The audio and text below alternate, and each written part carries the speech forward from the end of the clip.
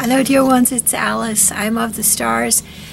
Uh, I have some comments today on a ballad variously known as The House Carpenter, the ballad of James Harris, and The Demon Lover. In the past, The Demon Lover was meant to be a warning for married women not to stray. I feel that's important, especially if they have children. Uh, but more important to me uh, because I've run into it many times amongst men, is the soul wounding exhibited by men who are uh, who were once in love with a woman and then are spurned by her, and who take up and and then are spurned by her, and then she takes up with another man, and and what happens if she goes back to them, or what if happens if she leaves him even, and then goes back to him and this has to do with some some very gnarly energies in the noosphere, in the astral realm here on planet Earth. I'm using a public domain version of the ballad from the Internet Archive. The source is Pepys, P-E-P-Y-S ballads, and it's right long, but very interesting historically. It starts off with the overview of how the whole thing started. It goes like this There dwelt a fair maid in the West, of worthy birth and fame, near unto Plymouth, stately town. Jane Reynolds was her name. This damsel dearly was beloved by many a proper youth, and what of her is to be said is known for very truth. Among the rest, that's among the rest of her suitors, among the rest, a seaman brave. Unto her a wooing came, a comely proper youth he was, James Harris called by name. So this man is a sailor. And amongst all the people that she knew, all the men that loved her fondly, the one that she decided upon, set her cap upon, was named James Harris, and he was a sailor. Now, in those days, a man and a woman be, would become betrothed, and that was a sacred trust. If that resulted in offspring before marriage, then there was a law called breach of promise that held the man to his former word. So, so becoming betrothed was an extremely important concept at that time. And even to agree that they would soon marry, that's equivalent to a betrothal. And that pertains to this next stanza. The maid and young man was agreed, as time did them allow, and to each other secretly they made a solemn vow that they would ever faithful be whilst heaven afforded life. He was to be her husband kind, and she his faithful wife. A day appointed was also when they was to be married, but before these things were brought to pass, matters were strangely carried. Okay, so that's the setup. They secretly agreed that they would be married, and a day was appointed for the marriage, but then something happened, something really bad. So now begins the ballad proper, which is number 243 in Pepys called James Harris, the, the Demon Lover. All you that faithful lovers be, give ear and hearken well. And what of them became at last, I will directly tell. The young man he was pressed to see, that means he was forced to go to sea, and forced was to go. His sweetheart, she must stay behind, whether she would or no. And after he was from her gone, she three years for him stayed, expecting of his coming home, and kept herself a maid. Maid means maiden, means never having experienced romantic love. At last news came that he was dead within a foreign land, and how that he was buried she well did understand, for whose sweet sake the maiden she lamented many a day, and never was she known at all the wanton for to play. So in all that time, when she was dealing with the grief that she felt for her lost beloved, she she never fooled around. She never had a lover. She was true to his memory. Okay, now, a carpenter that lived hard by, when he heard of the same, like as the other had done before, to her a wooing came. So he went to, their, to her place as a suitor.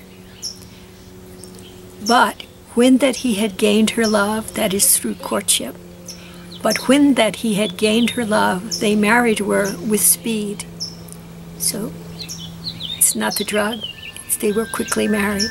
And four years' space, being man and wife, they lovingly agreed.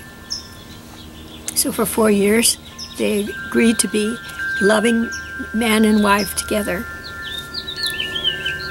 Three pretty children in this time this loving couple had, which made their father's heart rejoice and mother wondrous glad. But as occasion served, one time the good man took his way some three days' journey from his home, intending not to stay. So the husband went away for three days, away from home, and left the mother with three children there in the home. But whilst that he was gone away, a spirit in the night came to the window of his wife and did her sorely fright. That means a ghost or spirit or astral being made an apparition or, or appeared in her home while the man was away, which is the time that the woman is most vulnerable, and frightened her and did her sorely fright. So now the Spirit speaks. Which Spirit spake like to a man, and unto her did say, My dear and only love, quoth he, prepare and come away. He's asking her to go away with him, the Spirit. You may recall the name of her first suitor, the one she really loved so greatly, was James Harris. Okay, so now to continue. James Harris is my name, quoth he, whom thou didst love so dear, and I have traveled for thy sake at least this seven year. He's saying he was looking for her for seven years. And now I am returned again to take thee to my wife, and thou with me shalt go to sea to end all further strife. He's suggesting that she should go to sea with him to prevent the husband from fighting with her. O tempt me not, sweet James, quoth she, with thee to go away. If I should leave my children small, alas, what would they do? No. Okay, starting over. O tempt me not, sweet James, quoth she, with thee to go. Please, please, please don't do that. O tempt me not, sweet James, quoth she, with thee away to go. If I should leave my children small, alas, what would they do?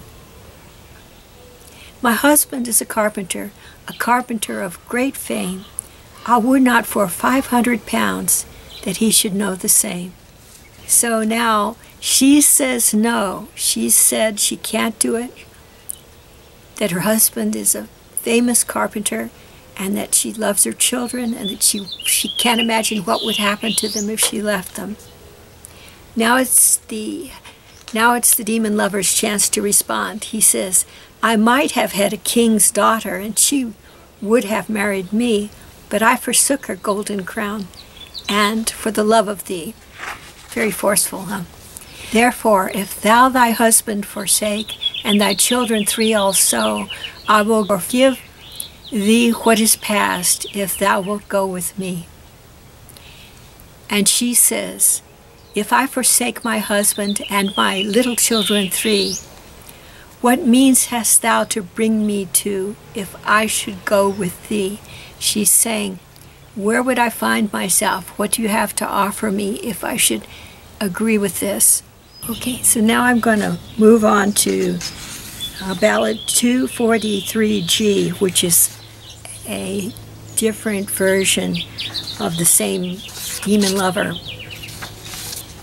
The, um, the lady is asking the apparition, the ghost, she's saying, What have you in store for me? What, what property do you have? What could you offer me if I were to go away with you? And the demon lover says, I have seven ships upon the sea, laden with the finest gold, and mariners to wait us upon. All these you may behold. And I have shoes for my love's feet, beaten of the purest gold and lined with a velvet soft to keep my love's feet from the cold. Then I'm presuming they get on the ship. And he says to her, Oh, how do you love the ship, he said, or how do you love the sea, and how do you love the bold mariners that wait upon thee and me? And she says, Oh, I do love the ship, she said, and I do love the sea, but woe be to the dim mariners that nowhere I can see. So she's on the ship with the apparition. It may be a ghost ship. And he proposes that there are sailors on board taking care of the ship, but she can't see any. So already there's trouble. They had not sailed a mile away, never a mile but one, when she began to weep and mourn and to think on her little wee son, her little very small son. Now it's the demon lover's turn, he says. Oh, hold your tongue, my dear, he said, and let all your weeping be, for I'll soon show to you how the lilies grow on the banks of Italy. They had not sailed a mile away, never a mile but two, until she espied his cloven foot from his gay robe sticking through. Okay, so there's something wrong. The man that she used to know is not the same as he used to be. In fact, he has a, a diabolical aspect to him. So, what is this that happens when she loved a man and the man went away and deserted her? And then finally married someone else and had children, and then he returns, if only in her mind, okay? And begins a campaign that she should love him and not this new person. In other words, the apparition is jealous of her happy life, of her happy married life, or even it could be, I feel, that the person who once loved her feels telepathically that she might find someone else that loves her and then becomes in aspect, in demeanor, something like this demon lover. He turns enraged, he does whatever he can to destroy her. Okay, so there's just a little bit more to this. They had not sailed a mile away, never a mile but three, when dark, dark grew his eerie looks and raging grew the sea. He was in a rage. He was an enraged, jealous man. And many men descend to this after they leave a woman. Instead of moving on to a new love, they cannot release themselves from that old vow. They cannot move on to someone new. And consequently, they destroy the life of the person they once loved and their own life as well. Do you know what I mean? Very bad things can happen when a man does not allow a woman to move on when he can't stop stalking her husband, when he can't stop trying to destroy her love for him. You see. Okay, the last stanza. They had not sailed a mile away, never a mile but four, when the little wee ship ran round about and never was seen more. It could have been one of those upside down tornadoes in the sea that sinks the ship into the sea. No. Jealousy is the dark opposite of love. It, can happen in a woman too, but in this case, what you have is a woman who adjusted to the loss of a man, and the man who comes back and haunts her telepathically and brings her to ruin because because he himself has turned dark and sour, you know? That you know, many men think this is just how it is. When a man is spurned or who, a man deserts a woman, that, that the man will feel cruel to the end of his days and, and injure the woman to all he speaks to. You know, but I don't feel that way. I think many men adopt a very useful attitude towards women they once loved and and pick out all the good things that happened at that time and look forward to those things in a new relationship. That's what I think. You know, there's always trouble amongst women about men stalking them and men trying to rape them and men trying to kill them and all this awful stuff, you know, simply because we have a lot of hard energy and the men think that they can take advantage of us for that reason. You know? It's it's a terrible situation here in the third dimension that all of us women have to face. That that men can be protectors, but when they become jealous, when they become enraged, they can take the strength that God endowed them with and use it against us too. Well, I wish the best for the women of Earth because without us, without our children, without our nurturing and educating abilities, there would be no human life on Earth. And I, I hope the men will understand that we have great value, we women on Earth. They're not the only valuable people on Earth. You know, I, I'm asking you not to be arrogant simply because you're strong. Strength is only half of the ingredient, you know.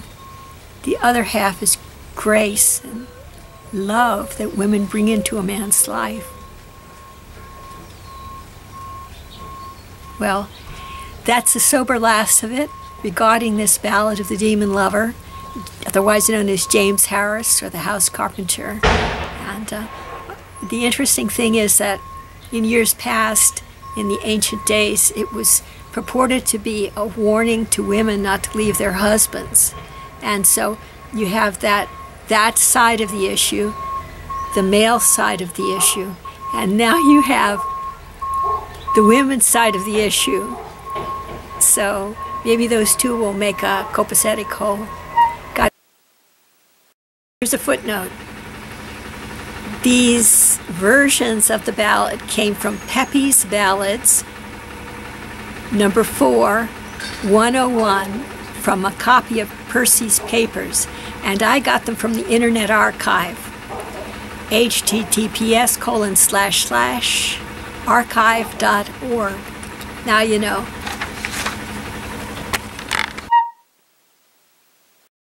Okay, so this is a footnote number two. Someone asked me on the psychic plane why I didn't just move on uh, and find someone else. Um, sometimes what happens is that a person, while themselves not stalking and so forth, um, has a negative attitude that they convey to their friends, and their friends take it upon themselves to give a woman her just deserts. I don't know if you've run into this or not. So, a guy who's well liked and has lots of male friends can enlist 100 people, 100 strong, self willed, arrogant, I have to say, men on his side to, to take up for him in, in terms of,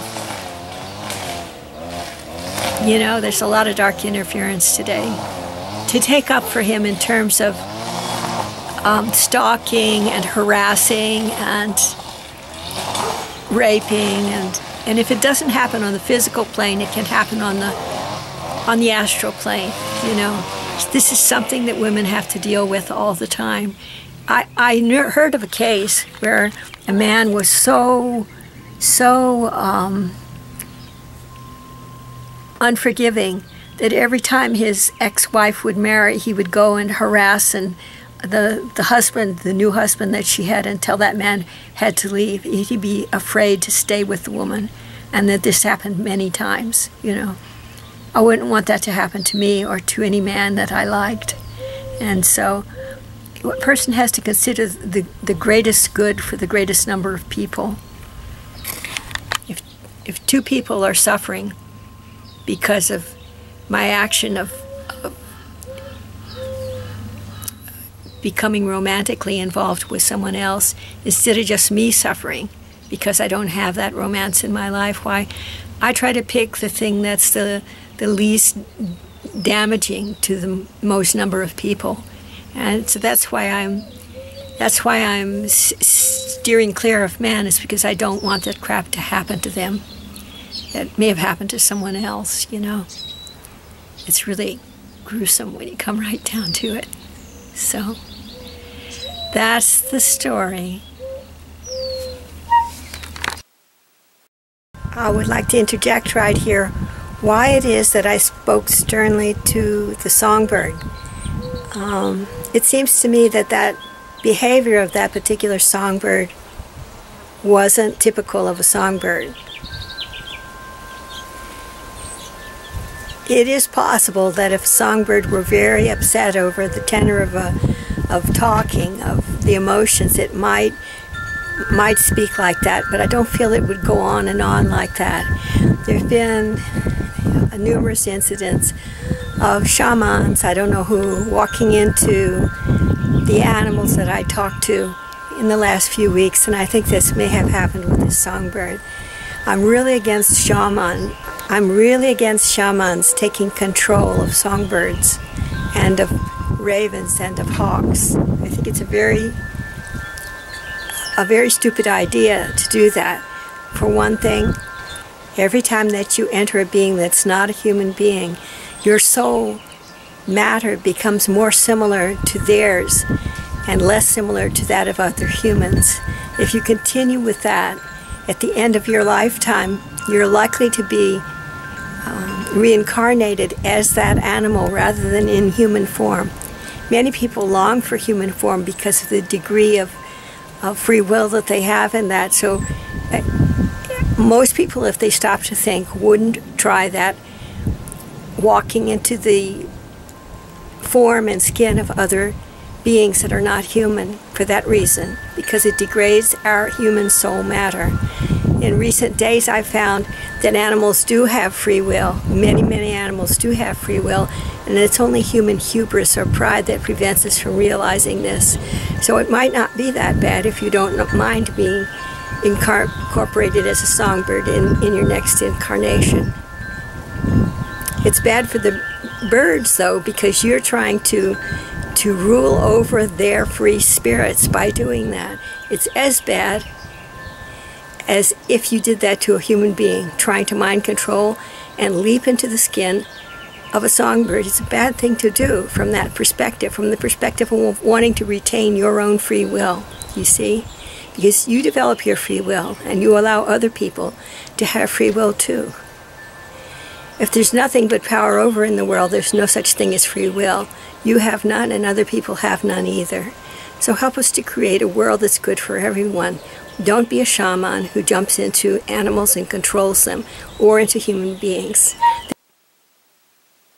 God bless you all and keep you safe and be with you through all your days. In love, light, and joy, this is Alice B. Clagett. I am of the stars, and so are you. My website is awakeningwithplanetearth.com. See you there.